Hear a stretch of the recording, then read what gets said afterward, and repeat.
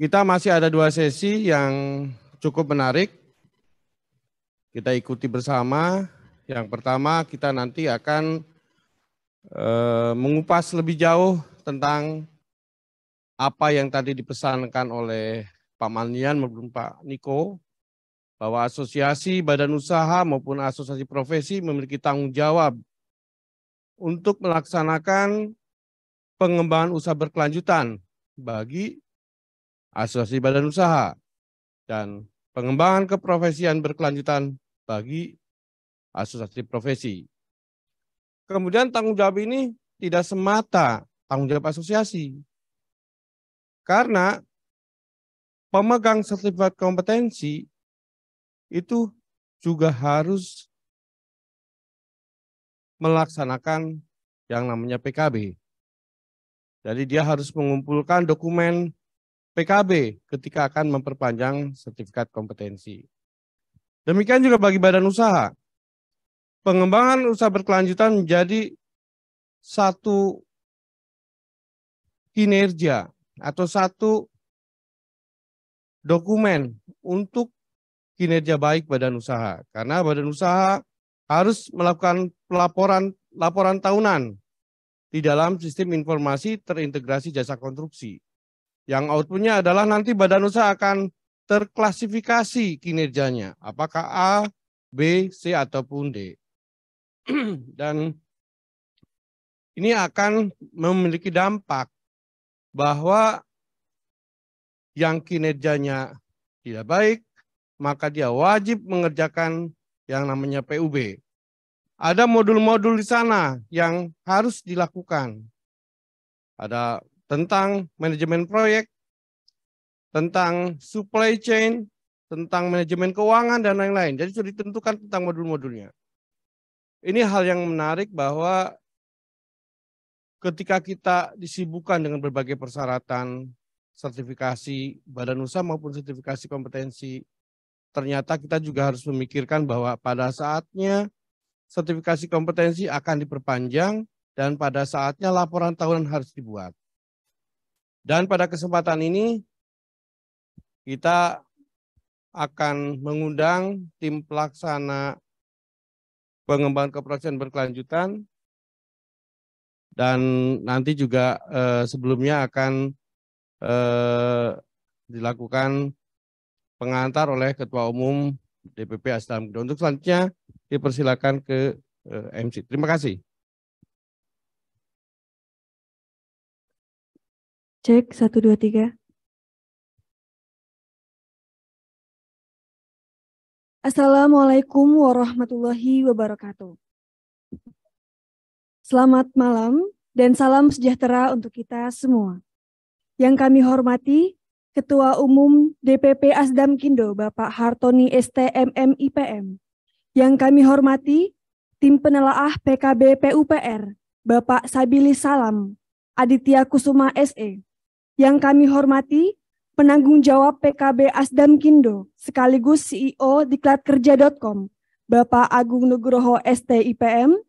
Yang kami hormati, Sekjen Aspekindo, sekaligus founder diklatkerja.com, Bapak Urianto SE, dan para tamu undangan, serta peserta seminar yang berbahagia. Saya ucapkan selamat datang kepada perwakilan dari Kementerian PUPR dan LPJK, para pengurus dan anggota Asosiasi Profesi Konstruksi, para pengurus dan anggota Asosiasi Perusahaan Konstruksi, Badan Usaha Jasa Konstruksi, para akademisi dan mahasiswa, dan hadirin sekalian. Serta tentunya para hadirin yang telah bergabung melalui Zoom dari berbagai daerah provinsi dan kabupaten kota di seluruh Indonesia. Terima kasih kepada seluruh hadirin yang sudah hadir di hari Minggu malam ini yang mungkin seharusnya menghabiskan waktu bersama keluarga di rumah. Baiklah beri tepuk tangan bagi kita semua.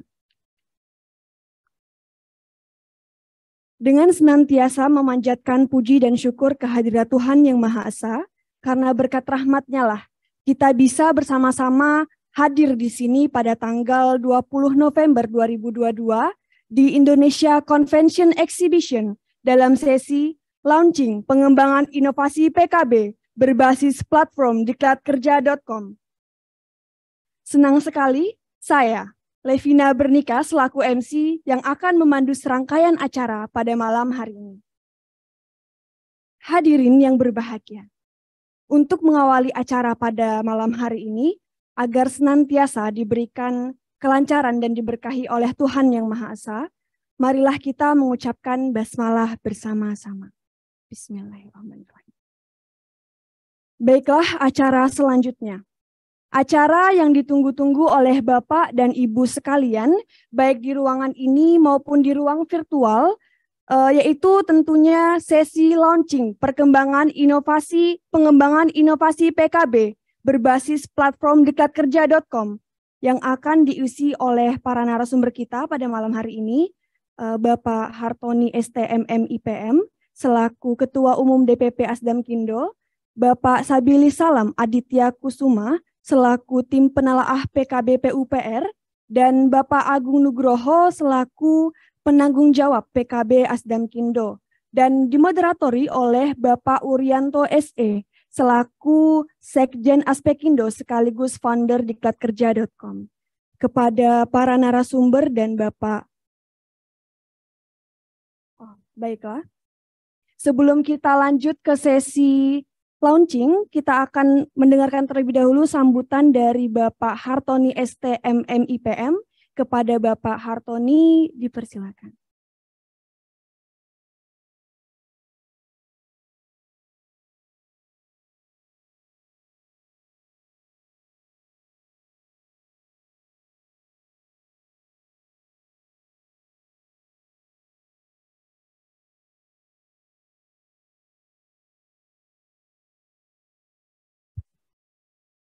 Assalamualaikum warahmatullahi wabarakatuh.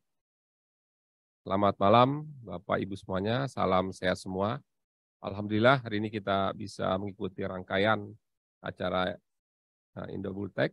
Tentunya pada kesempatan ini saya sebagai Ketua Umum memberikan satu uh, arahan dan gambaran bagaimana sistem PKB ini bisa sudah berjalan di tim kami. Kepada yang terhormat, Pak Dedi yang diwakili oleh Pak Pak Sabil ya, Pak Sabil, Direktur Kompetensi Produktivitas Konstruksi PUPR. Yang kami hormati tentunya Profesor Insinyur Krisna Mukhtar, ST MSCE, PhD IPU, selaku Guru Besar Institut Teknologi Indonesia yang berada di tengah kita. Yang saya hormati uh, penanggung jawab untuk PKB, Pak Agung, sebagai uh, bagian dari dari Aslam Kindo. Tentunya saya hormati tim diklat kerja ya yang sudah tentunya berkolaborasi dengan Asdam Kindo. Assalamualaikum warahmatullahi wabarakatuh. Puji syukur patut kita panjatkan kehadiran ilahi Robil Alamin atas karunia-Nya kita bisa hadir dalam ruangan ini untuk kembali menunaikan tugas-tugas eh, koprofesian kita baik selaku pelaku usaha maupun pelaku profesi jasa konstruksi. Bapak, Ibu yang kami hormati, setelah dua tahun sesi kita selesaikan, yaitu sesi satu berupa diskusi publik jasa konstruksi dengan tema transformasi mewujudkan pelaku usaha dan profesi jasa konstruksi profesional dan kompeten. Kita bisa melihat bahwa berbagai konsepsi dan arah kebijakan. Pemerintah melalui regulasi yang diterbitkannya akan berhadap-hadapan dengan realitas yang dihadapi oleh pelaku usaha dan profesi jasa konstruksi. Banyak temuan-temuan problem yang mengemuka, khususnya terkait ketidaksiapan semua pihak agar konsepsi dan arah kebijakan dapat mencapai realitas yang diharapkan.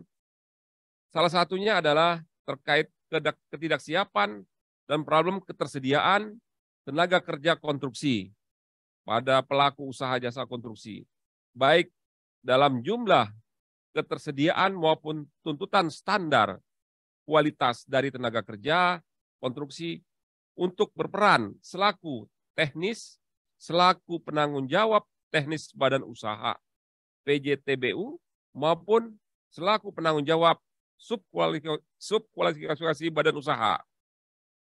Asdam Kindo dalam posisinya selaku asosiasi profesi terakreditasi memiliki sejumlah konsepsi untuk mengatasi problem ketersediaan tenaga kerja konstruksi dengan menunaikan haknya selaku LSP sumber daya manusia konstruksi SDM Konstruksi Indonesia. Hari ini kita alhamdulillah tadi pagi dari jam 9 sampai jam 2 seperempat ya bahwa SDM sudah di witness oleh BNSP jadi uh, sudah lolos salah, salah satu tahapan terkait uh, tahapan dalam prosesi sertifikasi dari BNSP. Tentunya ke depan kami berusaha segera untuk dapat menjadi masukan-masukan dari BNSP untuk segera dapat melakukan proses sertifikasi kepada semua pihak yang berkepentingan di dalam bangsa ini untuk memastikan tenaga kerja telah tersertifikasi.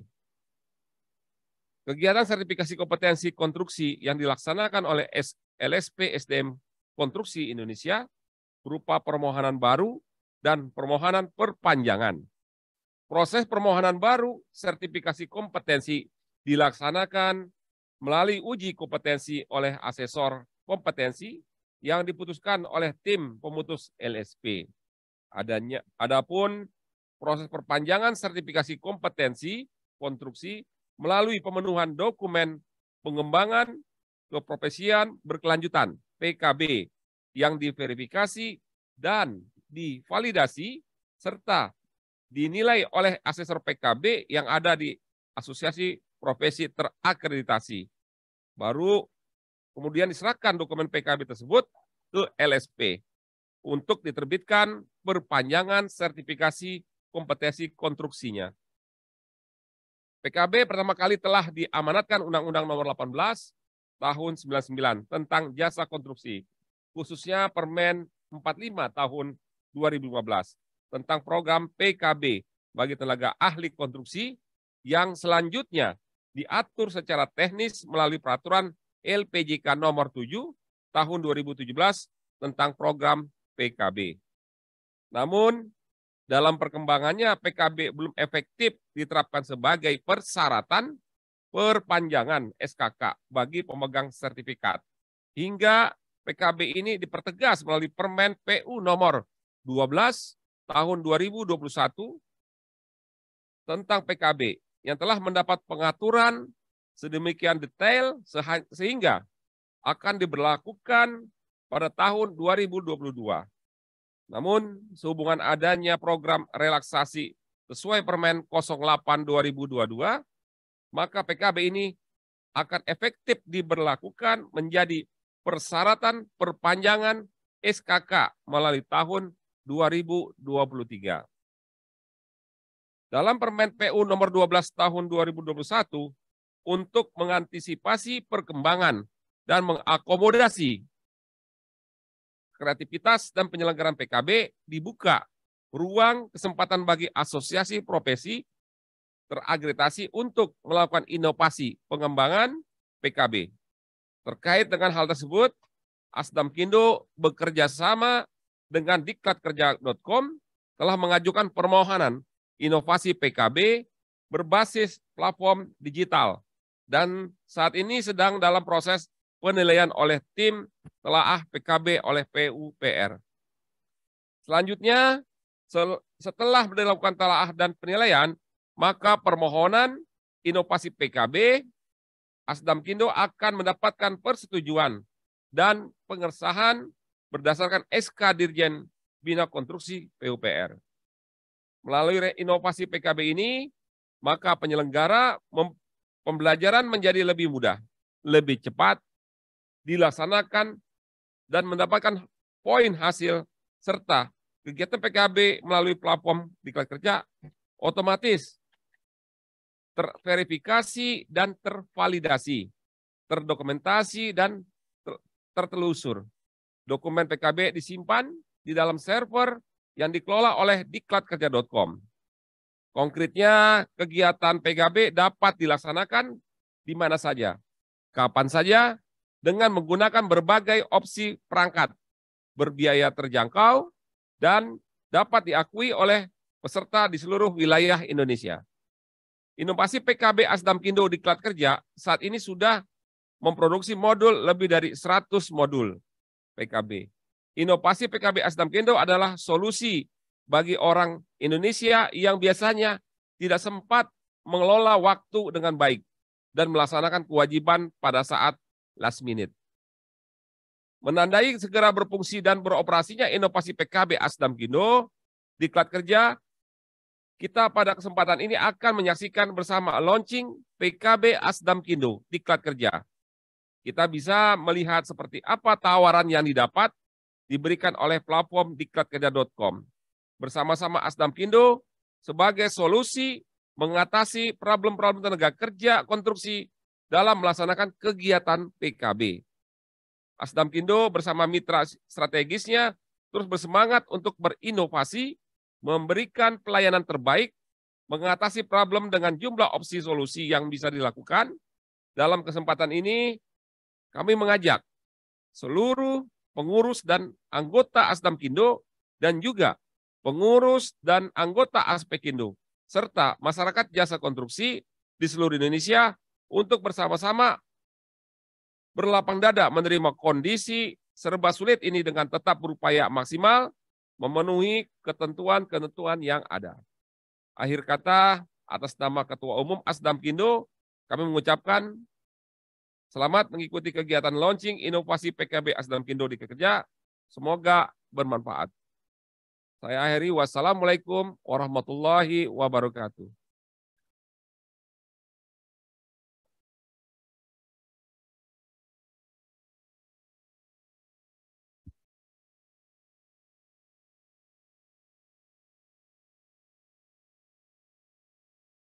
Baiklah, terima kasih kepada Bapak Hartoni STMM IPM atas sambutannya.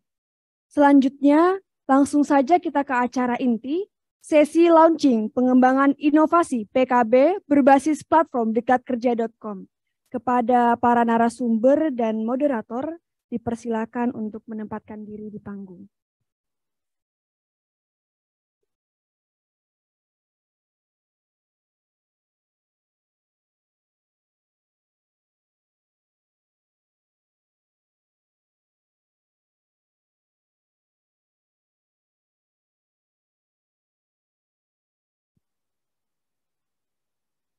Saya pikir.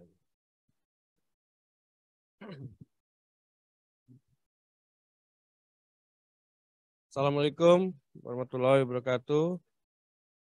Salam sejahtera bagi kita semua. Selamat malam.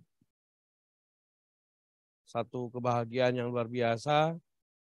Saya bersama Bapak Ibu sekalian di ruangan ini dan juga yang berkesempatan hadir di ruangan Zoom ataupun eh, aplikasi YouTube, channel YouTube. Pada hari ini kita akan mencoba melihat sejauh mana eh, platform yang selama ini kita sosialisasikan, kita perkenalkan, dan kita perjuangkan agar mendapatkan pengakuan, bahkan legalitas bahwa platform ini merupakan platform yang bisa diterima sebagai bagian dari kegiatan pembelajaran yang diakui oleh regulator tentunya. Nah, pada kesempatan ini juga kita akan melihat sejauh mana platform ini bisa menjadi gambaran bagi Bapak Ibu sekalian, bagi kita semua, ini untuk bisa diikuti.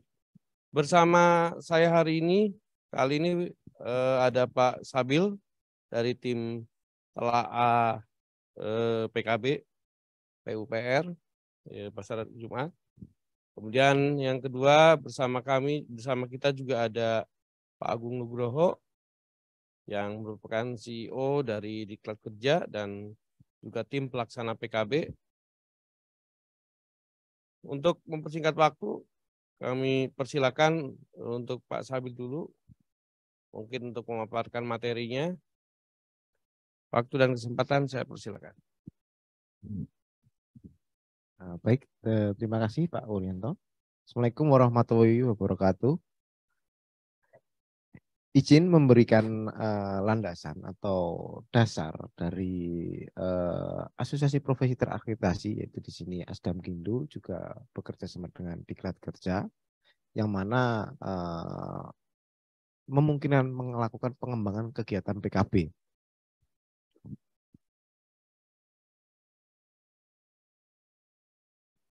Baik, uh, izin sesuai dengan SE Dirjen, SE Dirjen nomor 131 tentang pedoman tata cara mengajukan permohonan untuk pengembangan untuk kegiatan utama pengembangan keprofesian berkelanjutan.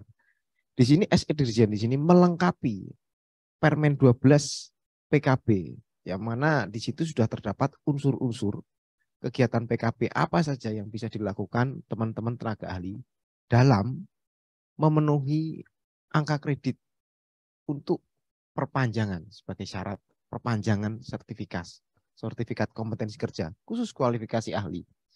Di dalam SI ini uh, menjelaskan terkait uh, uh, unsur-unsur baru, unsur-unsur uh, pengembangan dari unsur yang sudah ada, kemudian yang dikembangkan oleh asosiasi profesi terakreditasi.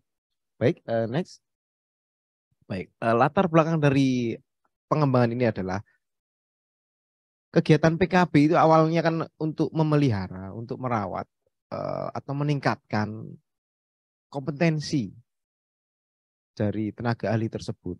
Sehingga nantinya uh, tidak tidak melulu bekerja, dia juga harus uh, belajar merawat kompetensinya. Sehingga ketika nanti suatu saat ada produk baru mereka dapat menyesuaikan, segera mungkin dapat menyesuaikan jadi kegiatan PKB memang diperuntukkan itu sehingga filosofinya diaplikasikan dalam kebijakan, dicegat dalam ketika melakukan perpanjangan.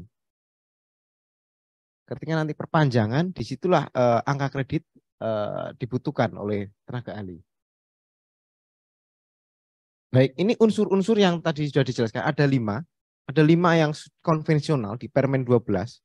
Untuk saat ini, Asdam Kino telah eh, beberapa kali mungkin mengajukan kegiatan PKP secara konvensional sebagai penyelenggara dengan cara mengajukan dirinya sebagai penyelenggara, kemudian mengajukan kegiatan, kemudian melaporkan.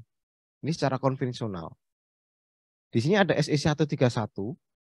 SE 131 ini merupakan terobosan tadi sudah disampaikan Pak Ketua eh, Asdapido melakukan terobosan. Sehingga yang mana akan memudahkan tenaga ahli dalam mengumpulkan angka kredit. Di dalam uh, untuk konvensional ini memang penyelenggaranya harus terdaftar, kemudian mengajukan, kemudian melaporkan. Kalau tidak penyelenggara terdaftar, maka tenaga ahlinya sendiri mengklaim dengan dokumen-dokumen diunggah. Sehingga di situ memerlukan proses administrasi tertentu. Untuk itu SE 131 ini terbitlah sesuai uh, di dalam Permen 2 di sini kegiatan PKP dapat dikembangkan oleh asosiasi profesi terakreditasi. Hanya asosiasi profesi terakreditasi yang dapat melakukan pengembangan, meskipun nantinya dia dapat uh, bekerja sama dengan platform tingkat kerja dalam hal ini. Baik, next. Untuk dapat melakukan kegiatan PKB, mengembangkan kegiatan PKB, APT tersebut harus memenuhi 8 kriteria hal yang paling vital nanti dapat di, uh, di, di dibaca sendiri. Hal yang paling vital adalah uh, sistem tersebut harus dapat terintegrasi dengan PKP online. Jadi kalau misalnya dia punya ide pengembangan kegiatan PKP gitu, cuman dia nggak ada sistem landasannya, nggak bisa dilakukan karena percuma saja. Artinya proses administrasi akan tetap muncul. Untuk itu Kriteria yang paling penting di sini adalah terintegrasi. Dapat sistem tersebut dapat diintegrasikan. Kalau nggak bisa ya seperti kegiatan yang umum, ajukan aja seperti konvensional aja. Jadi kriteria yang paling penting adalah dapat terintegrasi.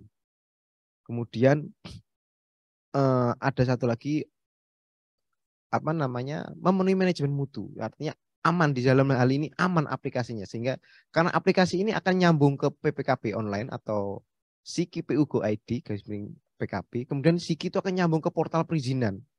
Portal perizinan itu yang mengcreate eh, apa namanya perizinan satu Indonesia, khususnya konstruksi di sini. Kemudian ada sertifikat di situ dan sertifikat ini perpanjangan melink dengan SIKI. Artinya di situ butuh keamanan di dalam sistemnya.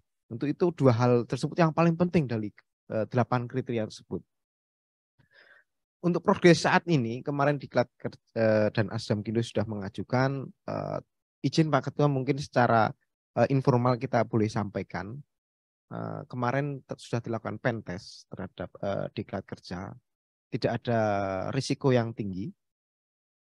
Cuma ditemukan risiko medium Cuman itu tidak perlu uh, tidak terlalu berarti sehingga kegiatan uh, penelaahan berikut langkah selanjutnya akan dilakukan sambil akan disurat uh, akan disurati kepada Asdam Kindo dan juga Diklat Kerja untuk menyempurnakan terkait aplikasi tersebut. Ada tiga temuan untuk risiko madya dan delapan temuan risiko uh, rendah. Jadi masih bisa dapat dilanjutkan. Jadi tiga temuan tersebut uh, dapat sehingga nantinya yang jelas diklat kerja ini atau ASEAN ini apa namanya dapat dilakukan penelaahan dapat berjalan sesuai dengan uh, tahapan selanjutnya. Baik, selanjutnya. Baik, langsung saja uh, apa namanya? Selanjutnya, next. Alurnya seperti ini. Jadi kelas telah memenuhi sampai uh, tahapan tiga penelaahan permohonan. Analis permohonan nanti akan ditetapkan SKPK-nya. Jadi SKPK-nya ini akan ditetapkan di di kerja berapa angkanya, itu langkah berikutnya. Jadi kegiatan PKB-nya apa unsurnya mungkin bisa jadi baru atau sama dengan yang konvensional dengan modifikasi. Mungkin SKPK-nya nanti akan ditetapkan melalui uh, Cap Dirjen. Sehingga setelah itu direkomendasi baru ditetapkan oleh Dirjen. Baik, next.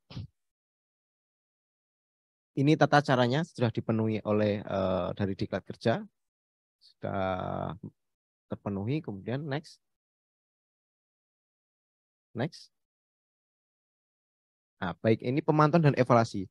Suatu saat nanti uh, Asdam Kindo dan Diklat Kerja ketika nanti di, uh, telah diterbitkan, nanti akan ada pemantauan dan evaluasi yang mana dia akan melihat kegiatan-kegiatan PKP yang telah dilaksanakan oleh Diklat Kerja dan Asdam Kindo sesuai dengan Cap Dirjen. Jadi nanti kalau tidak sesuai lagi diputus sampai dia sesuai lagi. Baru disambungkan lagi. Itu inti dari pemantauan dan evaluasi. Pemantauan dan evaluasi ini nanti dilakukan oleh Direktorat uh, Kompetensi bersama dengan EPJK. Baik, mungkin demikian Pak Ur. Terima kasih atas kesempatannya. Ya, baik. Terima kasih. Aplaus untuk Pak Sabil. Ya, terima kasih Pak Sabil. Ini tadi kita mendapatkan gambaran eh, proses yang tengah dilakukan oleh Asdam Kindo dalam mengusulkan pengembangan PKB. Tadi sudah disebutkan ada beberapa temuan dan temuan ini menjadi catatan bagi Asdam Kindo nanti untuk bersama-sama dengan Diklat Kerja memperbaiki platformnya agar proses ke depan eh, integrasi sistem yang tadi disampaikan oleh Pak Sabil bisa eh, sesuai memenuhi standar dari eh, tim telaah PKB eh, PUPR. Jadi dasar dari pengajuan inovasi PKB seperti yang disampaikan oleh Pak Sabil tadi adalah berdasarkan surat edaran Dirjen gitu ya. Dan nanti hasil dari inovasi PKB ini adalah e, melalui keputusan Dirjen. Nah, kita berdoa, mohon doa restunya juga dari eh, teman-teman semua di ruangan ini maupun di ruangan e, secara virtual agar proses ini bisa berlanjut, bisa dengan cepat terintegrasi sehingga dengan demikian segera bisa operasional. Menyusul uh, tim LSP juga yang Alhamdulillah puji Tuhan tadi sudah menyelesaikan witness. Ada juga teman-teman yang mudah-mudahan seminggu dua minggu kelar. Sehingga di awal Desember juga sudah bisa operasional. Oke, mungkin untuk eh, kalau ada pertanyaan sekalian aja nanti eh, di ujung Untuk selanjutnya mungkin saya persilakan Pak Agung Nugroho, tim pelaksana PKB, untuk menyampaikan paparannya. Terima kasih. Silakan Pak. Baik, eh, terima kasih Pak Urianto sebagai Sekjen dari Aspekindo dan juga Wakil Ketua Umum Aspekindo dan eh, partner saya di Dikat Kerja. Eh, juga Pak Sabil, terima kasih Pak nih sudah bertahan dari siang sampai malam nih Pak Sabil eh, karena sesi kita molor nih. Dan juga Pak Ketum, terima kasih Pak Ketum eh, juga sudah setia menunggu eh, sampai malam dan tentu para peserta yang hadir dan yang join di Zoom. Uh, izin saya akan uh, menyampaikan paparan singkat saja. Baik, next.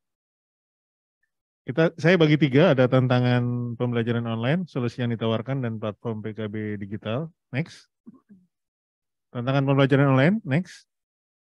Jadi 39 persen responden dalam suatu survei yang diadakan oleh Dikti menyatakan bahwa internetnya tidak stabil. Ini problem kita. Next. Kemudian ini yang terjadi di lapangan, orang webinar dua jam, pembicaranya tujuh orang. ya, tidak terjadi interaksi, tidak terjadi tanya jawab, tidak terjadi diskusi. Next. Sertifikat dikumpulkan dikoleksi. ya. Eh, orang bisa mengumpulkan sertifikat sebanyak-banyaknya tanpa menjadi pintar gitu ya, tanpa menjadi lebih tahu, tanpa menjadi lebih terampil. Next. Ini juga temuan kami, 49% responden menyatakan tidak mau membayar pelatihan online lebih dari 100 ribu rupiah, dan 65% menyatakan memilih webinar gratis daripada membayar kursus online. Next. Nah, ini salah satu contoh, bukan programnya salah, tapi metode belajarnya yang salah, mungkin uh, need assessment-nya yang salah, mungkin sehingga tidak sertifikat cuma dikumpulkan tapi tidak diterima ketika melamar pekerjaan di dunia industri. Next. Nah itu tadi uh, problem-problemnya. Solusi yang kami tawarkan. Pertama, next. Free webinar. Jadi kita tetap tidak menjual seluruhnya. Webinarnya tetap kami gratiskan. Ya, webinar itu selalu kami gratiskan. Orang bisa mm, berinteraksi dengan instruktur di dalam Zoom itu selalu. Tapi peserta webinar tidak kita beri modul, tidak kita berikan ujian, dan tidak mendapat sertifikat. Next. Kita meningkatkan interaksi dengan cara membuatkan uh, WhatsApp group ya kita membuat WhatsApp group jadi semua yang peserta mendaftar baik yang free maupun yang berbayar akan diberikan email otomatis masuk ke dalam begitu selesai daftar ada email otomatis ada link WhatsApp dan bisa langsung masuk next kita ada rekaman ya. Memang eh, ini adalah solusi yang sibuk dan yang koneksi internetnya jelek. Misalnya dia di remote area sedang sedang mengikuti proyek di mana SK-nya sudah mau habis begitu Pak Sabil ya. Dia tidak bisa menunggu kan kalau SK-nya habis harus dia perpanjang. Kalau kembali ke kota mungkin makan waktu masih dia misalnya dua minggu atau satu bulan. Nah dia bisa belajar ketika dapat internet dia download uh, videonya, dia download uh, modulnya. Sebenarnya video tidak perlu download ya karena uh, uh, modul yang bisa di-download dia bisa pelajari uh, kapan saja, tidak harus di waktu tertentu gitu ya. Bisa Sabtu Minggu, bisa kapan saja. Next. Kemudian tadi download modul. Jadi tidak semua platform pembelajaran itu memberikan modulnya bisa di-download, tapi kami memberikan modulnya di-download. Bisa di-download. Next. Oke, kemudian ujian kapan saja. Jadi belajarnya sekarang, ujiannya besok boleh. Belajarnya sekarang, ujiannya dua. Nah, kebanyakan karena soal kami terus terang, soal-soal ujian kami relatif sulit, sehingga nah, kalau Bapak Ibu, teman-teman melihat di web dikat kerja, jarang ada yang presentasinya sampai 95% lebih yang lulus itu jarang. Ya. Ada yang daftar 60, lulus 30, yang daftar 50, lulus 25. Itu kami memberikan standar yang cukup tinggi, untuk lulus ujian supaya orang belajar ya supaya orang belajar dia membaca lagi modul menonton lagi video sehingga betul-betul yang lulus ujian itu memang dia sudah memahami uh, modul pembelajaran yang diberikan next Nah, kemudian kami memberikan gamifikasi supaya orang tertarik untuk belajar terus, mendapatkan nilai yang terbaik. Jadi setiap kursus 10% dari nilai terbaik akan kita berikan free kursus yang lain. Ya. Next. Baik, uh, platform PKP digital ini kita bangun. Next. Uh, kami bertiga, Pak Wuryanto, saya sendiri, dan Pak Yudanto dari uh, sebagai CTO. Next. Nah, perkembangan ikut kerja, terus terang kami dulu itu mencuri semacam mencuri start ya. sebelum PKB itu sebenarnya undang-undang tentang ini kan tentang PKB kan sudah 2017 Pak ya. Tapi waktu itu belum begitu seperti sekarang ya. Dulu masih ya di undang-undang tapi peraturannya mungkin belum terlalu teknis Pak ya seperti sekarang. Nah, kita sudah mencuri start, kita tahun 2019 membangun ini, 2000 September 2019 kami sudah go live. November 2019 kita sudah terlibat dalam live streaming konstruksi Indonesia di Kemayoran. Tahun 2020 Maret, pas di awal pandemi kita kita sudah mengajukan ke LPJK. Waktu itu dapat 25 SP, SKPK Pak, waktu itu di LPJK pengurus yang lama. Itu pertama kami pertama kali kami memberikan sertifikat PKB. Kemudian Agustus 2020 kami baru menyelenggarakan secara rutin, Pak. Setiap minggu selalu ada webinar, memang dengan berbagai topik ya, tidak semuanya konstruksi, tapi mostly itu sebagian besar adalah engineering. Ya. Next, uh, sedikit lagi, 2021 kami banyak melakukan improvement. 2000, nah sekarang November 2020 ini adalah salah satu milestone penting buat kami kalau kami Eh, melalui Pak bantuan teman-teman dari Direktur KPK bisa mendapatkan SK Dirjen agar eh, platform kami SKPK-nya diakui dan terintegrasi. Next. Kami sebagai startup, kami dikelola sebagai sebuah uh, sebuah startup beberapa kali mendapat mengikuti pitching dan mendapat penghargaan. Next. Pencapaian sampai ini kami sekarang punya 13.862 user. Ini angka kemarin. Tadi ada sekitar berapa puluh yang login tadi. Kami berikan gift kalau login eh, dan kita harapkan juga nanti akan mengikuti kursus. Kemudian kita punya 83 instruktur dan narasumber. Kita punya 9 mitra saat ini dan mitra utama kami tetap Asdam Kindo dan Aspek Indo ya yang terbanyak. Selain daripada itu ada PII, ada beberapa perguruan tinggi dan lembaga eh, pelatihan. Kemudian kita punya 229 materi engineering non konstruksi ya. Jadi nanti mohon kita bisa diskusi lebih lanjut Pak Sabil ya, apakah materi-materi engineering non konstruksi itu kan sebenarnya bukan sesuatu uh, yang berbeda sekali dengan konstruksi. Itu sangat menunjang juga sebagai seorang insinyur sipil, sebagai seorang insinyur eh, arsitek, misalnya materi-materi pengembangan teknologi tentang data mining dan sebagainya itu sangat berguna sekali. Kemudian tentang manajemen keuangan juga nanti berguna juga tentang manajemen sumber daya manusia. Manajemen keuangan tentu misalnya kita dalam hal membuat RAB, kontrak dan sebagainya, SDM dalam soal organisasi proyek dan sebagainya. Kemudian eh, materi konstruksi memang kita masih minim, masih 44. Makanya kita sekarang mengundang buat teman-teman Bapak Ibu yang eh, mungkin punya kemampuan mengajar eh, di bidang konstruksi, kita welcome ya. Next. Baik, jadi kita merespon surat edaran Dirjen Binakon nomor 131 SEDK 2022. Tadi Pak Sabir sudah sangat uh, lugas ya menyatakan bahwa ada standar mutu ya, ada manajemen mutu yang harus dipenuhi. Uh, sebelumnya nomor satu memiliki tahapan atau uh, proses bisnis yang terstruktur, yaitu sudah barang tentu kami punya punya tahapan yang betul-betul step by stepnya sampai pembayaran sampai itu terstruktur ya. Kalau tidak struktur nanti kami jebol ya. Nanti orang bisa tiba-tiba ikut kursus tanpa bayar gitu ya. Kita semua terstruktur dari mulai daftar, pembayaran, kemudian ikut kursus, sampai dapat sertifikat itu terstruktur. Tidak mungkin tidak terstruktur. Pasti semua algoritmanya terstruktur karena kami juga nggak mau eh, jebol, saya bilang tadi ya. Nggak mau tiba-tiba orang daftar tanpa bayar, orang tidak jelas datanya, tiba-tiba gitu. semua semua struktur terdata eh, step by stepnya tidak bisa dilompatin. Next. Oh sorry, sorry balik dulu. Eh, terdokumentasi udah pasti kita learning management system sudah pasti terdokumentasi. Kemudian nanti dari sisi keamanan eh, tadi sudah dievaluasi secara informal memang kita ada kekurangan-kekurangan dari sisi eh, security tapi itu dalam proses ya. Kita siap akan memperbaikinya Pak Sabil. Terima kasih atas informasinya. Kemudian yang berikutnya mem- saya kok nggak kebaca ya. Yang paling atas itu membatasi setiap orang tidak bisa mendaftar dua kali, sudah pasti. Seorang peserta begitu dia mengklik kursus yang sudah pernah diikuti ada already join gitu ya, sudah pernah ikuti, nggak bisa ngikut dua kali. Yang ketiga, yang berikutnya memastikan mengikuti pembelajaran dari awal sampai akhir. Nanti saya demokan sedikit.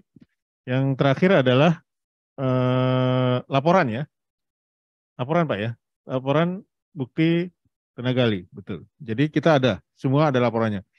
Kapan dia join, kapan dia download modul, kapan dia mulai nonton video, kapan dia ujian, kapan selesai ujian, semua tercatat Pak. Semua terdokumentasi. Tinggal bagaimana sistem pelaporannya. Apakah per orang atau direkap ya, Em, seluruh eh, itu dalam satu tabel gitu, itu bisa kita buat. Next. Baik, ini eh, payment gateway kita menggunakan tadi di depan. Pak, saya mau bayar ke ke resepsionis mau bayar cash, nggak bisa. Kita harus pakai payment gateway ya. Inilah salah satu yang harus kita lompati memang Pak, harus kita lalui ya eh, soal teknologi, teknologi informasi termasuk payment gateway. Next. Ini grup WhatsApp, jadi tadi saya sampaikan begitu sudah daftar ada link grup WhatsApp. Next. Oke, ini tolong eh, di run sedikit.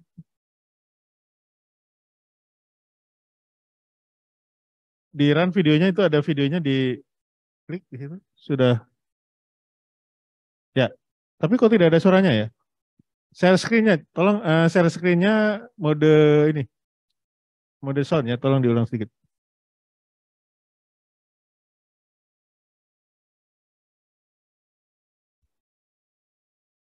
Oke, ini adalah video sedikit ya, pendek, cuman satu menit. benar sampai selesai dan akan terbuka secara otomatis dengan terlihat berwarna orange. Selanjutnya Anda mengklik icon video untuk melihat video materi yang ditayangkan dan nyalakan kamera serta mengikutinya. Video ini tidak bisa di skip sehingga Anda harus mengikutinya dengan benar sampai selesai. Eh, di stop dulu sebentar, stop. Oke. Oh, enggak, Eh, yang tadi, coba. Ya. Di pause, Selanjutnya yang ada gambar orangnya tadi. Eh, slide sebelumnya, slide sebelumnya. Slide sebelumnya. Ya, ya ini. Ya, di run. Oke, slide sebelumnya. Nah, oh stop stop. Oke. Jadi di sini Bapak Ibu, kalau peserta sedang menonton video pembelajaran itu akan terekam orang yang menonton videonya. Ya, itu webcamnya harus di on kan. Jadi itu akan terekam. Jadi tidak bisa orang lain yang nonton gitu, ya. Nah, tidak bisa orang lain nonton. Eh, nggak bisa pakai joki lah, gitu Pak ya. Jadi orangnya orang yang mendaftar nanti bisa kita tambahkan di situ namanya bisa dituliskan Eh, dan orang ini akan terekam selama pembelajaran. Meskipun tidak kita rekam 100% Pak karena full kalau full 100% besar sekali berat sekali. Jadi kita ambil misalnya setiap satu menit atau dua menit kita screenshot gitu ya. Tapi kelihatan bahwa orangnya ada di situ gitu ya. Dia tidak bisa pergi dulu gitu. Dia harus ada di situ dulu. Tapi boleh di pause ya. Artinya tapi tidak bisa di skip videonya. Gitu Pak. Video tidak bisa di skip kalau dia mau mau percepat nggak bisa. Dia harus sampai selesai baru dia bisa klik finish gitu ya, complete ya. Ya, lanjut. Next video. Next slide. Selanjutnya Anda bisa mengklik icon ujian untuk mengikuti ujian mendapatkan sertifikat. Anda bisa melakukan take a test dengan beberapa peraturan yang sudah dibuat. Selanjutnya Anda bisa melakukan ujian dan mendapatkan skor yang baik. Di sini terdapat skor yang berwarna hijau yang berarti Anda telah lulus dan mendapatkan sertifikat. Oke. Jadi Selanjutnya Anda jadi memang harus ikut ujian dengan passing grade tertentu ya. Jadi di situ kelihatan nanti yang warna hijau tadi sudah lulus. Kita ada 50 soal yang diacak secara sistem. Satu peserta akan menerima 30 soal pilihan ganda. Diacak supaya kalau ada teman sekantor gitu Pak ya, ngerjain bareng-bareng nggak bisa. Pasti soal yang diterima beda. Next. Selanjutnya Anda bisa mengklik icon ujian untuk mengikuti ujian Next slide. Slide berikutnya. Untuk mendapatkan sertifikat, Anda bisa ke My Course dan memilih icon sertifikat dan mendownloadnya.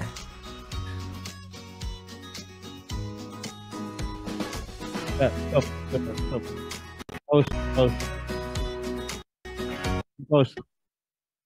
Oke, jadi eh, ya, jadi tadi ada sertifikat, ada dua kan ya, yang di atas sama yang di bawah itu sertifikat di atas itu sertifikat completion, yang di bawah itu sertifikat kursus next. Untuk mendapatkan sertifikat, Nah, oke, ini eh, nilai SKPK yang kami ajukan Pak Sabil. Jadi kami mengajukan dua nilai SKPK untuk satu kursus. Nah, begitu baiknya kita ya. Satu kursus dapat dua SKPK. SKPK pertama didapat dari mana? Dari menonton video dari awal sampai akhir selama dua jam. Ya, tidak bisa di skip. Orang yang nonton video selama dua jam akan dapat 5 SKPK. Yang kedua, yang sebelah kanan adalah nilai SKPK yang didapat jika lulus ujian. Soal ujiannya ada 50, diacak, satu orang menerima 30 soal. Demikian. Ini ternyata ada Prof. Manlian. Tadi saya, siapa? Wah, izin Prof. Ini kita eh, sudah sampai ke hampir menjelang akhir nih Prof. Baik, eh, saya kira begitu ya. Eh, penjelasan kami tentang nilai SKPK Pak Sabil yang kami ajukan. Nanti keputusan ada di Bapak-Bapak di LPJK dan di Direktorat KPK ya. Next. Oke, rencana pengembangan selanjutnya kami tentu akan meningkatkan jumlah mitra kerjasama, baik dari asosiasi, perguruan tinggi, lembaga pelatihan, dan sebagainya. Meningkatkan jumlah instruktur ya. Kami berharap teman-teman yang punya kemampuan eh, di bidangnya bisa mengajar juga di kami meningkatkan jumlah modul pembelajaran, kemudian uh, integrasi dengan multi platform. Jadi kami beranggap bahwa kami mengharapkan bahwa sertifikat yang didapat di PUPR itu tidak hanya dipakai untuk di PPR gitu. Dia bisa dipakai untuk di kampusnya, dia bisa dipakai untuk di tempat kerjanya, dia bisa dipakai untuk di sistem PII misalnya. Kenapa orang yang ingin mengajukan di PII tidak bisa kursus di kita gitu Pak ya? Kita kan sudah punya sistem yang teruji gitu ya. Standar, kenapa tidak bisa dipakai di PII? Dan seterusnya gitu Pak. Jadi kita harapkan bisa integrasi multi platform. Yang terakhir, kami akan menggunakan teknologi artificial intelligence dalam misalnya kita merekomendasikan agar si peserta dengan profil tertentu materi apa saja kira-kira yang cocok untuk dia gitu ya. Kemudian satu lagi yang penting adalah untuk deteksi wajah nih Pak. Ini buat teman-teman IT ya. Bagaimana mendeteksi wajah orang yang menonton eh, yang sedang belajar itu tanpa harus dilihat oleh asesor gitu Pak. Bisa oleh sistem. Jadi dibandingkan antara foto yang diupload dengan orang yang sedang menonton video itu Pak. Jadi dengan teknologi AI ini bisa dibuat eh, sedemikian rupa sehingga mengurangi peran asesor nanti. Jadi asesor nggak perlu repot lagi membandingkan ini betul nggak. Gitu. Baik, eh, demikian saya kira eh, sudah selesai ya paparan kami. Mudah-mudahan bisa menjawab pertanyaan dari banyak peserta. Tadi di grup WhatsApp banyak sekali yang bertanya bagaimana caranya mendapatkan sertifikat. Ini sudah kami jelaskan. dan uh, sekarang dalam proses integrasi dengan uh, sikinya LPJK mudah-mudahan bisa lolos nih Pak Sabil, Pak uh, di apa namanya dalam penilaian SKPK dan dalam integrasi yang dibantu oleh LPJK tentunya sehingga kita berharap kapan targetnya Pak awal Desember ya, mudah-mudahan awal Desember jika Bapak Ibu rekan-rekan uh, tenaga pemegang SKK mengikuti pelatihan di tingkat kerja tidak perlu repot lagi datanya sudah terupdate di Siki LPJK. Demikian terima kasih. Assalamualaikum warahmatullahi wabarakatuh. Terima kasih Pak Agung Nugroho, Ketua Pelaksana PKB Asdam Kido dan juga sekaligus CEO dari Diklat Kerja. Kita berikan aplaus untuk Pak Agung Nugroho. Baik, eh, tadi kita melihat dan eh, juga dipertunjukkan oleh Pak Agung Nugroho menegaskan tadi dari Pak Sabil bahwa integrasi harus dilakukan integrasi sistem agar eh, inovasi PKB yang diajukan oleh Asdam Kindo ini ini bisa eh, diterima kan gitu atau diluluskan lah kan gitu atau diproses lebih lanjut. Tadi Pak Agung Nugroho menyampaikan bahwa proses integrasi sistem sudah sedemikian rupa dilakukan dan hasilnya juga sudah disampaikan oleh Pak Sabil. Baik, mungkin eh, untuk selanjutnya barangkali ada eh, teman-teman di ruangan ini ataupun yang ada di Zoom ya, eh, ada pertanyaan yang ingin disampaikan atau tanggapan atau respon atas pemaparan dari Pak Sabil dan Pak Agung Nugroho. Kami persilakan. Mungkin di ruangan ini siapa yang mau memberikan tanggapan atau pertanyaan? Oke, baik. Dengan Bu Yanti ya? Oke, ada ada ininya. Ibu mungkin maju aja Ibu.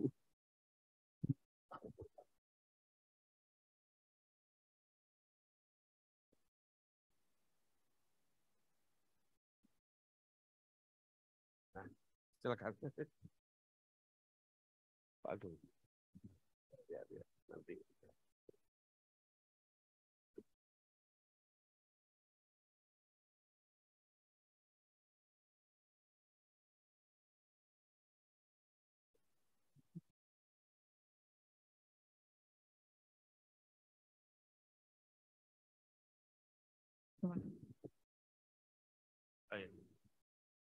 Assalamualaikum warahmatullahi wabarakatuh.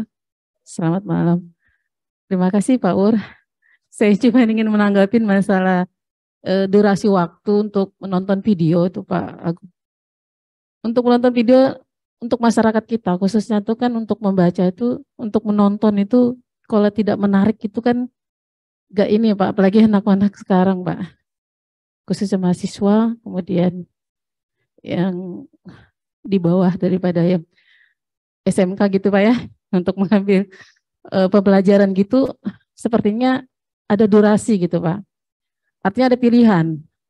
Mungkin ada pilihan durasi waktu yang satu jam atau dua jam itu kan kalau dua jam saya kira apalagi monoton gitu Pak, tidak menarik. Mungkin mereka agak agak ini kali Pak. Mungkin seperti itu Pak sih saya mau menyampaikan. Mungkin ada, mungkin nanti ada pembaruan untuk di durasi waktu Pak. Sedangkan kita kalau membaca itu kalau misalkan agak lama kan mereka kan nggak mau tuh. Mungkin begitu Pak Pur, Pak Agung, makasih dari saya. Assalamualaikum warahmatullahi wabarakatuh. Langsung aja Pak Ur ya. Ya, terima kasih Bu Yanti. Aduh menarik nih. Memang betul eh, tantangan pembelajaran online adalah rasa bosan ya, jenuh. Eh, kalau materinya tidak menarik. Ya, makanya kami makanya kita mengharapkan agar eh, nanti para instruktur bisa memberikan materi-materi yang menarik dan baru. Ya. Bukan materi-materi kuliah, Bu. Ya. Bu ya, kalau materi-materi yang sudah dipelajari di kuliah, di bangku kuliah diulang lagi bosan. Nah, itu lagi, itu lagi. Jadi kami memberikan materi-materi yang baru yang di kuliah mungkin pernah disinggung tapi tidak ada contoh-contoh kasus misalnya. Kita memberikan contoh-contoh kasus. Dan kita harapkan juga nanti memang instruktur kita. Salah satu contohnya misalnya kita pernah memberikan mengundang salah satu instruktur untuk materi geoteknik Bu ya. Itu bukan teorinya geoteknik diulang lagi yang ada di kampus, tapi dia memberikan materi kasus-kasus kegagalan konstruksi pondasi misalnya. Ya kan? Di mana terjadi eh, kegagalan konstruksi pondasi, dia singgung, diulas dan eh, dibahas bagaimana solusinya. Itu kan satu hal yang menarik, satu hal yang baru ya.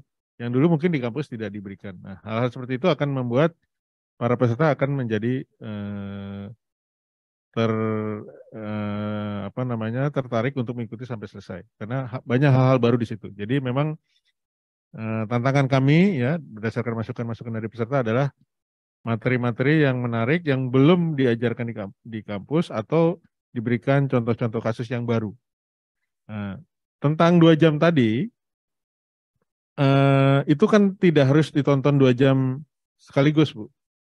Ya, jadi bisa kita tontonnya nanti Eh, bertahap gitu ya. Jadi kita harus bikin itu menjadi fleksibel, bisa ditonton misalnya hari ini setengah jam, besok setengah jam lagi gitu ya. Jadi tidak harus malah lebih bosan di kampus bu. Di kampus dua jam nggak bisa dipotong. Pak dosen berhenti dulu nggak bisa. Kalau ini kan bisa di pause dulu gitu ya, bisa dilanjutkan di hari berikutnya. Tapi terima kasih Bu Yanti atas eh, pandangan dan masukannya.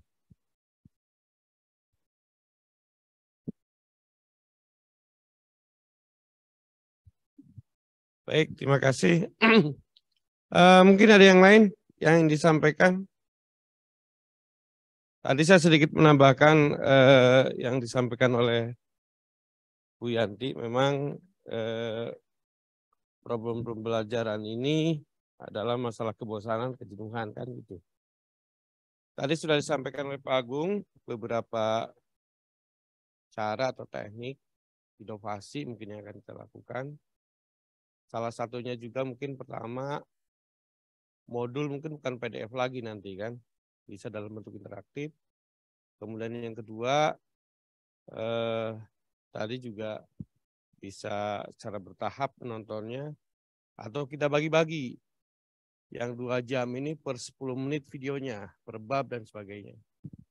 Jadi eh, tentang cara dan teknologi pasti terus berkembang. Kita juga melihat eh, tren dari teknologi sendiri dan uh, tren perilaku dari kita semua kan gitu. Sehingga diharapkan uh, iklan kerja bersama Asdam itu juga terus modulnya berkembang, cara kita mengaksesnya juga berkembang gitu kan. Sehingga diharapkan bisa diterima oleh uh, masyarakat gitu. Mungkin dari Zoom mungkin kan tidak. Boleh, mungkin juga ada pertanyaan di Zoom dibacakan. Mungkin uh, ada pertanyaan di chat, mungkin barangkali silakan. Atau mau langsung live, dipersilakan. Silakan yang license. Ya, silakan. Dari mana ini? Silakan. Assalamualaikum warahmatullahi wabarakatuh. Salam. Bapak. Terima kasih atas kesempatannya. Uh, mohon maaf, izin bertanya. Mungkin ini agak apa yang namanya agak sedikit uh, tidak sesuai dengan pembahasan malam ini, Pak. Saya ingin bertanya uh, untuk pembuatan badan usaha atau perusahaan itu, ini kan ada apa namanya, ada peraturan baru Pak dari berdasarkan Undang-Undang Cipta Kerja Pak.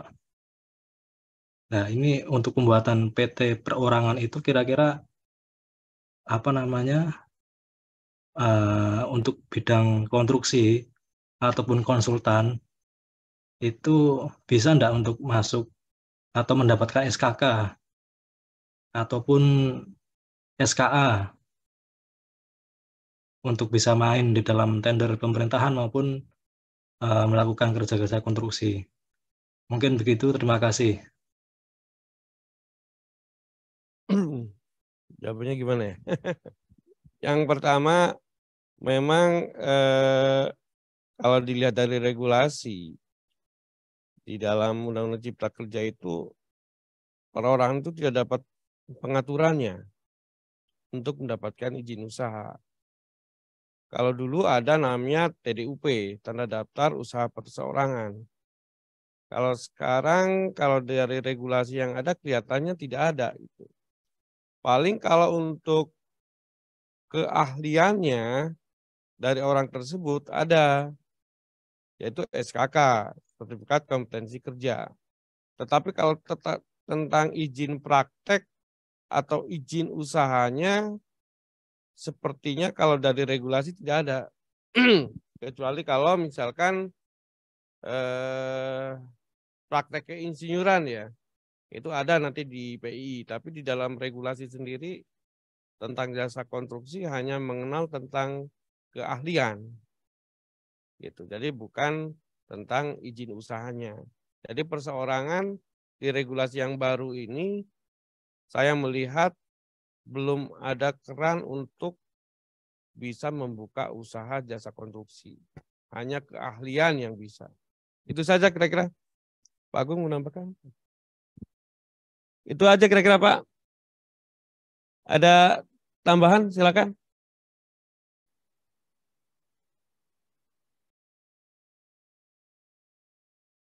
Apa cukup? Ada yang lain silakan.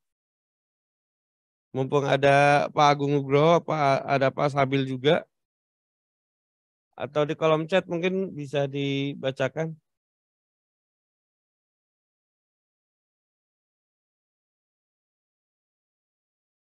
Ada pertanyaan kah?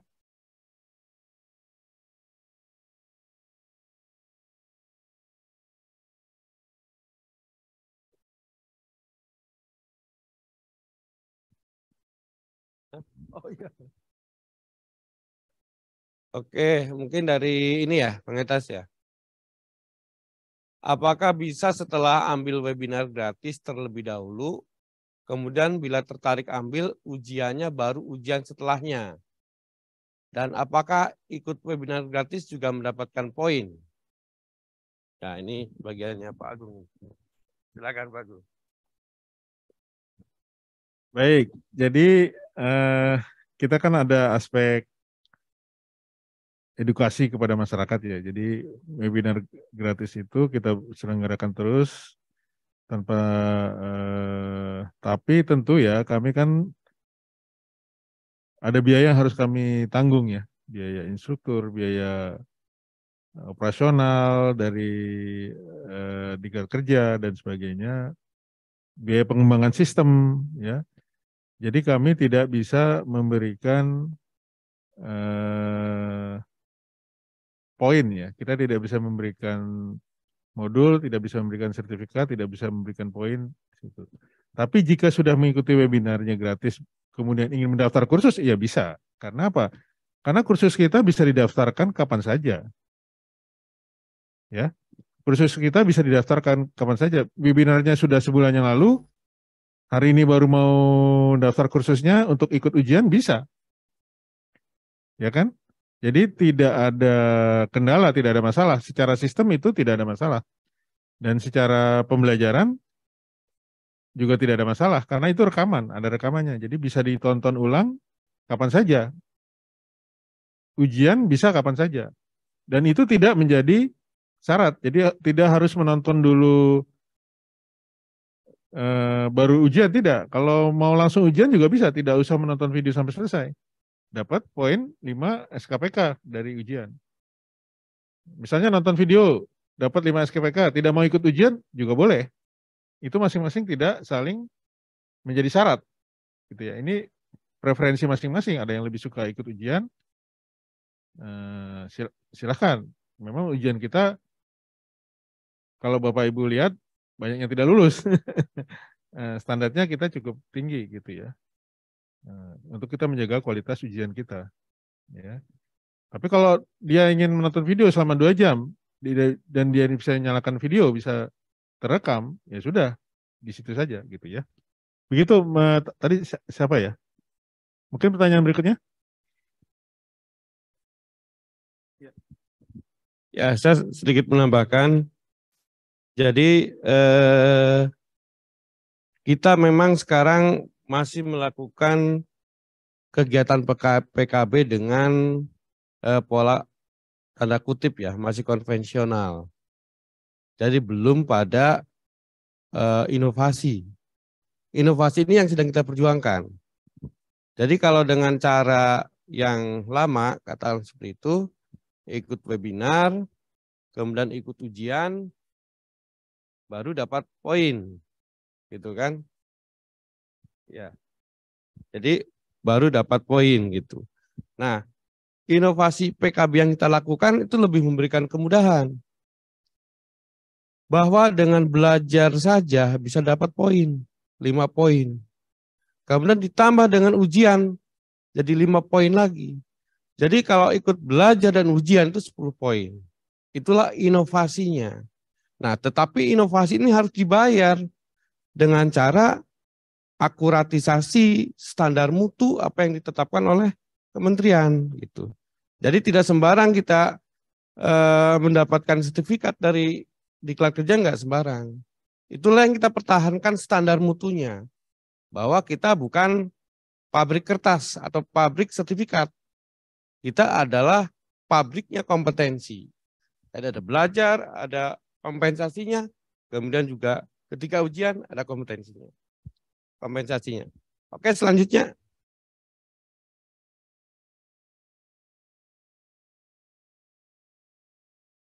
Itu yang PT perorangan udah tadi. Jadi meskipun PT perorangan itu belum ada kerannya, belum ada slotnya di regulasi. Sama seperti yang tadi perorangan.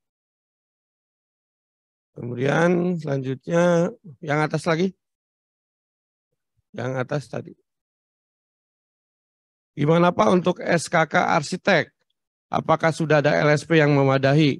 Oh ya sekaligus saja, untuk SKK arsitek belum bisa, LSP-nya belum ada yang mengampu. Masih dalam proses di LPJK dan BNSP kalau tidak salah. Oke, lanjut. Oke, dari Pak Sudin Maka, untuk sistem diklat kerja bisa diterima untuk pembelajaran memenuhi SKPK. Cuma modul yang diterapkan harus juga ada modul SMK, SMA yang jenjang 432. Oke, ini Pak Agung, silakan Pak Agung. Baik, eh, terima kasih Pak Samsudin Maka dari aspek Indo Sulawesi Tengah ini ya. Jadi memang eh, perlu kita lihat lagi di Undang-Undang Jasa Konstruksi bahwa kewajiban pengembangan keprofesian berkelanjutan hanya terkena kepada uh, jenjang ahli, yaitu 7, 8, dan 9. Untuk yang di bawah 7, 8, 9 tidak terkena kewajiban PKB. Jadi sistem kita memang saat ini memang berusaha comply terhadap uh, amanah undang-undang tersebut dan memang uh, saat ini lebih banyak materi-materi kita adalah materi-materi yang sifatnya kebutuhan dari tenaga ahli bahwa nanti ada kebutuhan pasar di luar ini, ya tentu kita bisa saja menyelenggarakan, tapi tidak akan mendapatkan sertifikat PKB, ya. Seperti materi-materi engineering yang non konstruksi, silahkan diikuti, tapi tidak akan mendapatkan sertifikat PKB. Dapat poin, tapi dengan asesmen Pak ya, bukan langsung otomatis 5 SKPK. Nanti ada faktor koreksinya gitu Pak ya, kalau materi-materi penunjang gitu Pak ya, bukan materi yang terkait langsung dengan jabatan kerja yang bersangkutan. Misalnya seorang eh, ahli teknik sipil belajar tentang lingkungan gitu Pak ya, itu bukannya nol, tidak, tidak nol. Itu akan mendapatkan poin tapi tidak penuh. Begitu Pak Sabil. Mungkin Pak Sabil bisa membantu jelaskan bahwa ada pengetahuan-pengetahuan atau ada skill-skill yang tidak langsung berkaitan dengan jabatan kerja ahlinya, itu tetap akan mendapatkan poin tapi tidak penuh. Mungkin Pak Sabil bisa mohon dijelaskan sedikit Pak. Eh, baik Pak. Baik, untuk materi di sini sebenarnya mengacu kepada unit kompetensi pada jabatan kerjanya. Misalnya sipil, dia unit kompetensinya apa aja? Dia bisa dilihat di SKKNI-nya. Kalau misalnya sesuai dengan unit kompetensinya, dia akan dapat angka kredit yang penuh 100%. Tapi kalau dia ada di luar unit kompetensinya, tapi masih dalam bidang sipil, dia mendapatkan eh, 80%, maksudnya kategorinya eh, sifatnya umum, sehingga tidak penuh untuk materi. Jadi dia, eh, tenaga ahli kalau bisa, untuk mendapatkan nilai maksimal, materinya ikuti kegiatan-kegiatan didikat kerja yang sesuai dengan jabatan kerjanya. Kalau misalnya ada materi di luar itu cuma dapat 80%. Masih berarti, eh, tapi kategorinya umum ya.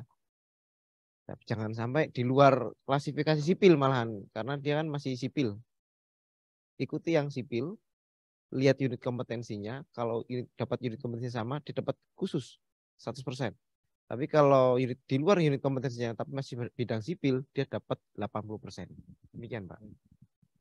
Terima kasih. Berarti penjelasan saya sudah dikoreksi ya. Kalau sipil belajar tentang materi teknik lingkungan tidak diakui Pak ya? Untuk saat ini untuk transisi masih masih Pak.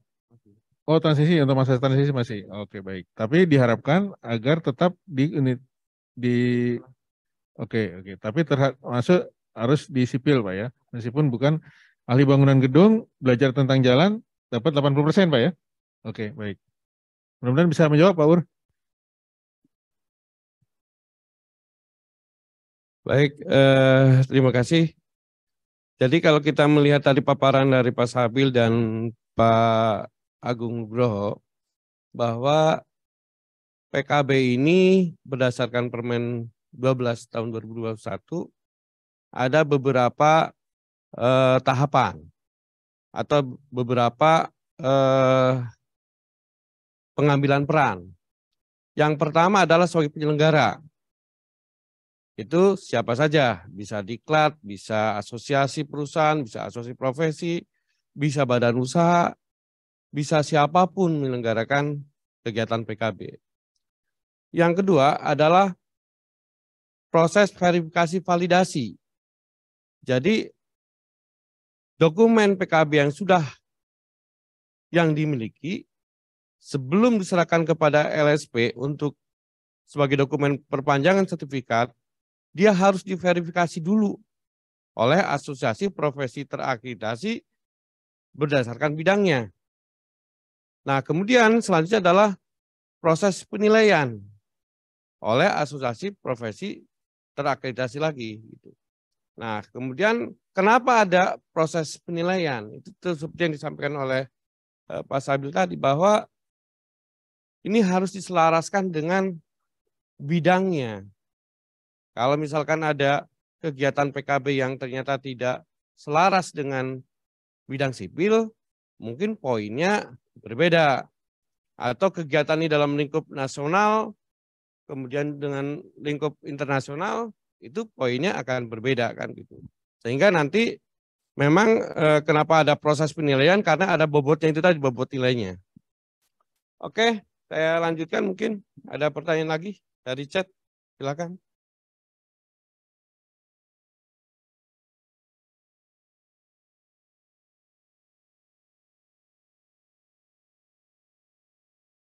Ya, tentunya karena perseorangan ini belum ada pengaturannya, Bapak bikin PT ya perseorangan terbatas untuk perusahaan, bukan perorangan.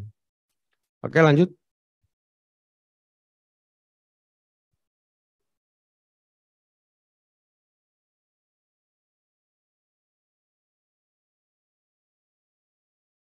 Dari Pak Silvernius Medan, Horas orang Medan.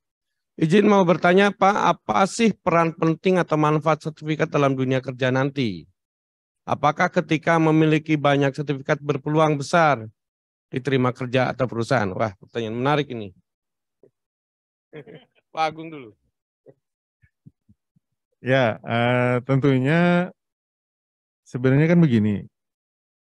Bagian HRD itu akan mencari yang terbaik ya ketika merekrut karyawan, bagian HRD itu akan mencari yang terbaik dari sisi ijazahnya, dari sisi pengalamannya, dari sisi keterampilan dan sertifikasi gitu ya. Ya bersainglah sebanyak-banyaknya se sebagus-bagusnya level pendidikannya, sebanyak-banyaknya pengalaman, sebanyak-banyaknya keterampilan, attitude, dan sebagainya ya. Jadi kalau dibilang sertifikat menjamin akan diterima bekerja ya enggak juga. Ya kan karena faktornya banyak. Orang HRD itu merekrut ya kan Anda dilihat ya, macam-macam. Tapi kalau Anda orang lain sama semua, Anda nggak punya sertifikat, orang lain punya sertifikat, yang diterima yang punya sertifikat tentunya gitu. Kita berpikirnya dari sisi eh, penerima pekerja kan begitu. Ya jadi di dunia yang kompetisinya tinggi seperti ini, apa pun yang eh, akan kita anggap akan dinilai oleh penerima pekerja, ya itulah yang harus kita perbaiki. Dan salah satunya adalah sertifikat. Tapi kalau dibilang menjamin, ya eh, saya juga tidak bisa mengatakan seperti itu ya. Tapi kalau di dunia konstruksi di Kementerian PUPR itu syarat mutlak Pak ya untuk bisa mengerjakan eh, terlibat dalam proyek konstruksi di Kementerian PUPR dan kementerian lain yang terkait konstruksi Pak ya, itu wajib Pak ya harus memiliki sertifikat. Mohon dikoreksi Pak kalau salah Pak. Uh, izin Pak, uh, ini kan sudah nanti aplikasi ya Pak ya. Jadi nanti ketika Bapak Eh, teman-teman uh, tenaga ahli mengikuti uh, PKP, apalagi melalui aplikasi terintegrasi, buktinya itu langsung masuk ke PKP online, Pak. Jadi sertifikat itu cuma tambahan. Tapi buktinya dia menambah angka kredit itu langsung masuk ke masing-masing akun tenaga ahli. Jadi teman-teman tenaga ahli tidak perlu direpotkan masalah administrasi, masuk langsung ke aplikasi. Nah, nanti untuk sertifikatnya itu silahkan nanti uh, diperuntukkan untuk melamar pekerjaan atau apa silahkan monggo. Cuman uh, untuk PKB sendiri itu langsung diakui tanpa uh, apa pencetakan sertifikat itu sudah diakui. Apalagi ada sertifikatnya. Begitu Pak, Begitu, Pak. Baik, saya kira cukup Pak Ur.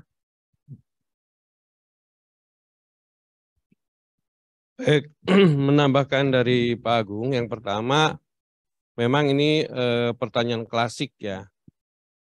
Artinya setelah saya ikut pelatihan, saya dapat apa? Gitu kan. Memang regulasi menyebutkan bahwa ini bisa nanti untuk kegiatan PKB, kalau tenaga ahli nih. Tapi untuk untuk yang eh, tadi pertanyaan yang eh, Pak Samsudin maka yang untuk SMK atau SMA nanti kalau ikut pelatihan dapat apa gitu kan. Nah memang eh, ketika platform Diklat Kerja ini kami rancang, sebetulnya tidak hanya ingin menyelesaikan tentang pembelajarannya. Jadi Diklat Kerja saat ini adalah satu fase, fase berikutnya ada gitu kan. Jadi kami akan merancang sedemikian rupa agar kegiatan pembelajaran di Diklat Kerja itu tidak hanya terhubung dengan eh, PUPR, tapi dimungkinkan kami terhubung dengan HRD, HRD di perusahaan. Kemudian juga dimungkinkan untuk terhubung dengan eh, platform lowongan pekerjaan. Jadi misalkan seperti kalau dia itu memiliki eh, pengetahuan di bidang apa, itu langsung akan eh, terkoneksi dengan perusahaan yang membutuhkan kompetensi itu. Itu cita-cita kita. Nah, jadi memang satu PR kita bahwa sertifikat yang kita peroleh dari pelatihan itu harus ada manfaatnya. Nah, manfaatnya itu bagian dari PR berikutnya yang akan dilakukan inovasi oleh Asdam Gindo bersama eh, dari Diklat Kerja. Oke, selanjutnya. Ada pertanyaan selanjutnya?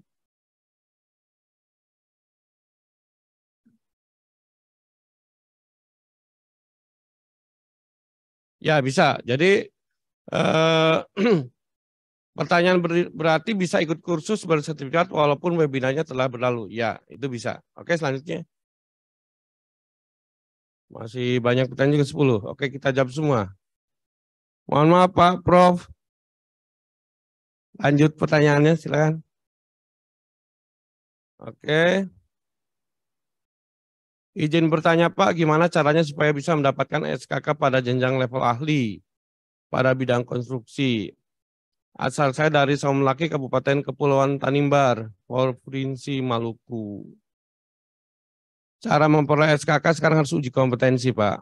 Jadi Bapak mencari eh, LSP atau TUK tempat uji kompetensi yang ada di Kabupaten Semelaki itu. Kalau di kabupaten itu tidak ada ya berarti Bapak harus datang ke Ambon. Atau kalau misalkan eh, skemanya bisa didaring, berarti bisa dengan cara daring gitu Pak. Jadi metode uji kompetensi itu ada daring, ada luring. Luring tetap muka, daring itu secara online. Cuma tergantung skemanya. Tidak semua bisa daring, tidak semua juga luring gitu. Oke, selanjutnya. Ada pertanyaan lagi? Selamat malam, izin tanya untuk aplikasi BIM untuk teknik sipil apa saja yang akan dibutuhkan? Terima kasih. Wah, ini Pak Agung. Pak Sabil, oh iya. Jadi pagi eh, Pak Direktur KPK sudah menjelaskan Pak ya ada program pelatihan BIM. Eh, mungkin bisa disinggung sedikit Pak. Oh, baik, eh, ini yang aplikasi eh, pelatihan BIM ini memang kerjasama dengan salah satu ini jadi memang diselenggarakan oleh uh, direktorat bekerja sama dengan uh, beberapa perguruan tinggi. Jadi nanti kalau misalnya Anda mau ikut, ya melalui perguruan tingginya. Jadi kalau misalnya uh, apa namanya perguruan tingginya masuk ke dalam uh, rencana pelatihan BIM, ikut saja. Di situ melalui perguruan tingginya. Jadi yang yang rekrut ya perguruan tinggi. Baik Pak, uh, untuk di kerja sendiri, by request Pak ya, kalau nanti ada yang membutuhkan pelatihan BIM, kita juga bisa selenggarakan. Ya kebetulan di Kelak Kerja juga beberapa seri ya, eh, beberapa kali menyelenggarakan kegiatan eh, pelatihan BIM, webinar BIM. BIM. Selanjutnya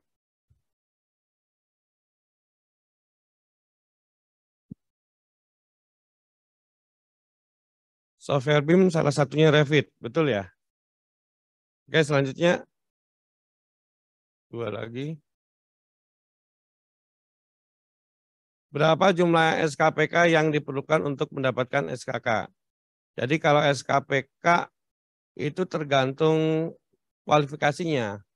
Untuk ahli muda itu 100 poin, untuk maja 150 poin, untuk utama 200 poin. Oke lanjut.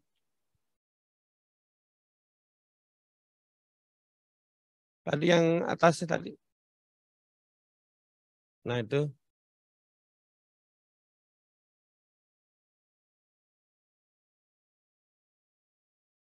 Oh ya, sudah.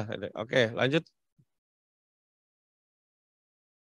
Jika saat ini dari Muhammad MT, jika saat ini sudah ada SK lama, Apakah boleh tidak buat SKK yang baru dengan sertifikat atau nilai SKPK yang diperoleh dari pembelajaran misalkan di kerja tanpa harus mengikuti ujian untuk SKK baru. Jadi eh, di Permen 08 eh, SKK SKA lama itu usianya hanya sampai 31 Desember 2022. Memasuki Januari 2023 maka harus ganti SKA-nya menjadi SKK. Jadi nggak belum bisa pakai PKB. PKB hanya untuk perpanjangan. Kecuali nanti ada pengaturan lagi. Oke, oke.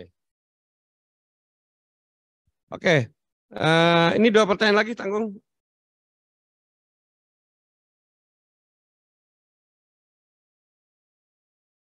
Oke, itu bisa. Jadi mohon izin bertanya apakah rekaman video harus diikuti secara langsung? Bagaimana kalau dilanjutkan hari besoknya atau jeda beberapa hari? Tadi sudah disebutkan bisa. Oke. Lanjut. Udah semua? Oke. Jadi satu uh, interaksi yang bagus. Ada hampir 20 pertanyaan mungkin eh, tadi kita bertanya jawab akhirnya eh, kami mohon dua restunya. Jadi eh, inovasi pengembangan PKB yang diajukan oleh Asdam Kindo agar segera bisa mendapatkan persetujuan dari Kementerian PUPR. Prosesnya kita siap mengikuti.